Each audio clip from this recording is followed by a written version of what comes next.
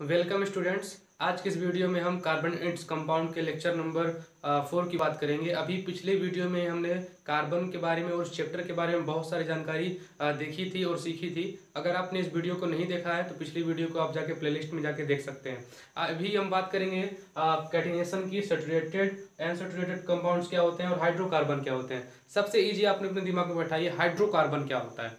Hydro और carbon यानी कोई ऐसा कंपाउंड जिसके अंदर हाइड्रोजन होता हो और उसके अंदर कार्बन होता हो, जिसके अंदर हाइड्रोजन होता हो और कार्बन होता हो। ऐसे कंपाउंड को हम कहते हैं हाइड्रोजन एनी कंपाउंड जिसके अंदर हाइड्रोजन और कार्बन होता है, वो सब का सब हाइड्रोकार्बन कहलाएगा। जैसे आप बात कर लीजिए सी एच फोर की सी एच फोर इसके अंदर कार्बन भी है और हाइड्रोजन भी है। ये क्या कहलाएगा? हाइड्रोकार्बन कहलाएगा। क्या कहलाएगा? हाइड्रोकार्बन दिमाग में बस इतना ही रखना है, कोई भी कंपाउंड हो एनी कंपाउंड जिसके अंदर कार्बन प्रेजेंट होता है और हाइड्रोजन प्रेजेंट होता है, वह कहलाता है हमारा हाइड्रोकार्बन क्या कहलाता है? हाइड्रोकार्बन अभी ये हाइड्रोकार्बन आप समझ चुके होंगे तो चलिए कैटिनेशन की तरफ़ बढ़ते हैं और समझते हैं कैटिनेशन क्या होता है। कैटिनेशन को हिंदी में हम श्रृंखलन कहते हैं। क्या कहते हैं? श्रृंखलन। अभी श्रृंखलन के नाम से लग रहा है कोई श्रृंखला बनना, यानी कि कड़ी बनना। अब कड़ी बनने का मतलब क्या हुआ? यानी कि एक कार्बन के पास दूसरा कार्बन उसके पास दूसरा कार्बन यानी कि लगातार कार्बन कार्बन कार्बन जुड़ते जाते हैं, उसी को हम श्रृंखला कहते हैं फिर कैटिनेशन कहते हैं। ये कार्बन की प्रॉपर्टी होती है। कार्बन एक तरह का ऐसा एलिमेंट है जो अपने ही कार्बन एटम के साथ जुड़ने की एबिलिटी रखता है। यानी कि एक कार्बन जब दूसरे कार्बन के साथ जुड़े और ये दूसरा कार्बन किसी और कार्बन से लगातार जुड़ते चले जाएँ तो इस गुड़ को हम, इस गुड़ को हम क्या कहते हैं? कैटिनेशन करते हैं। क्या कहते हैं?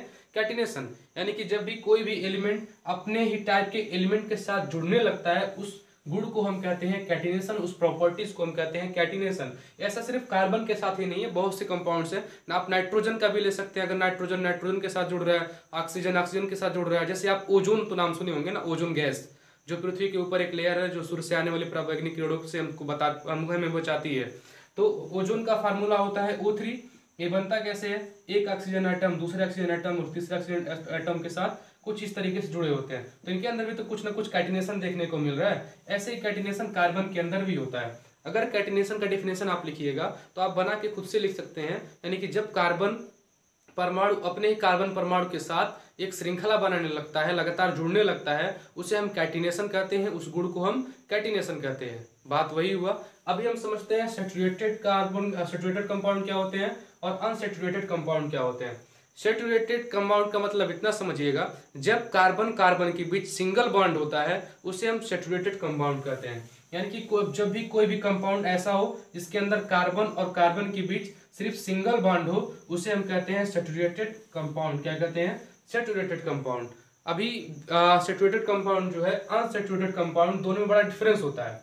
अनसेचुरेटेड में आपका डबल बॉन्ड और ट्रिपल बॉन्ड दोनों आते हैं, जबकि सेचुरेटेड में सिर्फ़ सिंगल बॉन्ड आता है। अगर हम अनसेचुरेटेड की बात करेंगे, असंतृप्त यौगिक की बात करेंगे तो असंतृप्त यौगिक वह यौगिक होगा जिसके बीच कार्बन कार्बन के बीच डबल बॉन्ड या फिर कार्बन कार्बन के बीच ट्रिपल बॉन्ड पाया जाता है। तो ये होगा हमारा असंतृप्त यौगिक या फिर अनसेचुरेटेड कंपाउंड्स तो अभी आप समझे कि हाइड्रोकार्बन क्या होता है कैटिनेशन क्या होता है सेचुरेटेड और अनसेचुरेटेड कंपाउंड्स क्या होते हैं और हाइड्रोकार्बन क्या होता है। एक बार फिर से हम दोहरा दे रहे हैं, समझ जाइएगा। हाइड्रोकार्बन वे कंपाउंड होते हैं जिनके अंदर हाइड्रोजन और कार्बन सिर्फ़ पाया जाता है, उसे हम हाइड्रोकार्बन कहते हैं। कैटिनेशन क्या होता है? कार्बन का अपने ही परमाणु के साथ गुड़ने के, जुड़ने के गुड़ को हम कैटिनेशन कहते हैं।